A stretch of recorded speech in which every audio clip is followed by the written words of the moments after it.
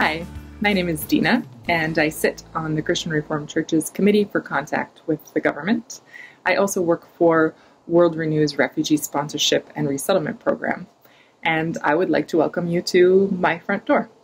Now, it is a little windy here, so sorry about any background noise, but my front door and I are on the traditional and unceded territories of the Musqueam, Squamish, and the tsleil First Nations, also known as Vancouver, BC. I'm also in the federal constituency of Vancouver East, and I wanted to talk to you a little bit about what I might ask candidates about or engage candidates on if they were to come to my door or if I were to see them out in the community. Now, because of my work with World Renew and also the Christian Reformed Churches of British Columbia, working with people who have arrived in Canada as refugees, I'm particularly interested in talking with candidates about what they and their parties hope to do in terms of supporting justice for refugees and resettlement of refugees in Canada.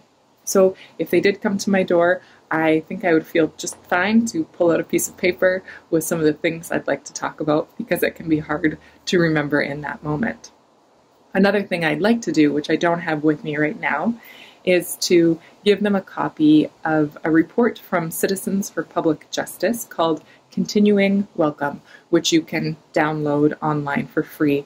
And Continuing Welcome is a report that addresses some of the gaps in Canada's refugee sponsorship program and gives some suggestions and recommendations for how the government can begin to address those gaps. It's a very helpful report, and so I would try and have a few of those copies printed on hand to give to candidates as I have given them to my MP in the past. So, one of the first things I might ask them about is how their parties hope to support vaccine equity for countries and people across the world. So, we know that many countries do not have the access to vaccines that Canada has had.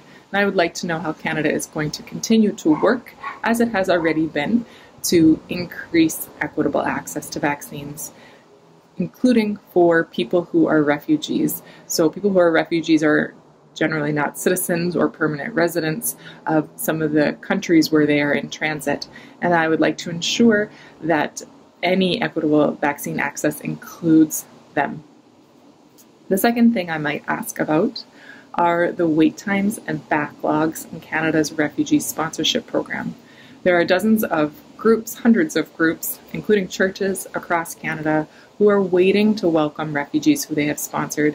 And there is a great backlog in the system, thousands of cases, which means that these groups are waiting, and the refugees who are waiting to come to safety are also being asked to wait for far longer than we would like to see. So I'd like to know what the parties are going to do to work on making that backlog smaller and on decreasing the wait times between when an application is submitted and when a refugee arrives in Canada. The third thing that I might ask about is affordable housing.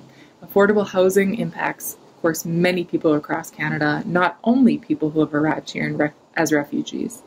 However, I would say that every single person who has come here as a refugee that I have met has been impacted by the lack of affordable housing. It, we know it's bad in Vancouver, but it is also bad across the country. And I think this is a critical issue, and I would like to know what the parties will be doing to work on the housing shortage, particularly the shortage of affordable housing. Lastly, I would like to ask them about Afghanistan. So I would like to ask what the parties will be doing to support resettlement of refugees who are from Afghanistan, uh, particularly those who did work with the Canadian military.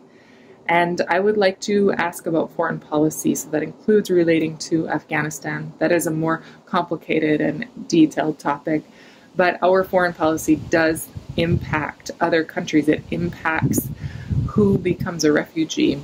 And so I would like to know what candidates and parties are, are thinking about foreign policy. Now, at the end of our conversation, also, I would thank the candidate because despite the many gaps in our system, I have been very encouraged by what I've seen as bipartisan support for refugee resettlement and refugee justice in Canada. And I would like to thank the candidates for that as well. Thanks.